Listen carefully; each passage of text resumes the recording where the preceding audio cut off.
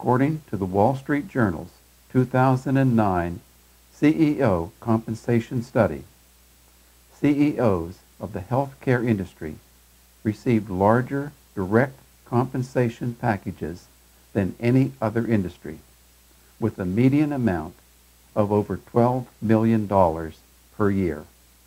As one example, Michael McCallister of Humana, a for-profit healthcare provider, received over $5 million in compensation last year, and he has realized over 700 million in long-term incentives, LTIs.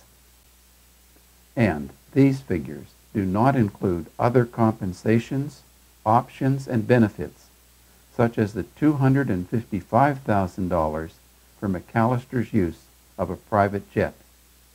The first $700 million plus savings toward a national health plan can be found by eliminating one person at Humana.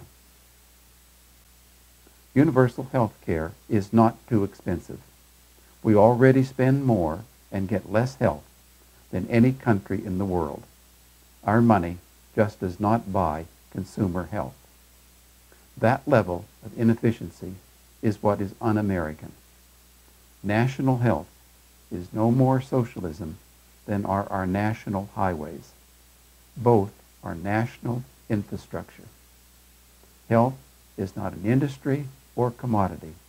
It is human capital. Tell our representatives in Washington to do what is right for all Americans.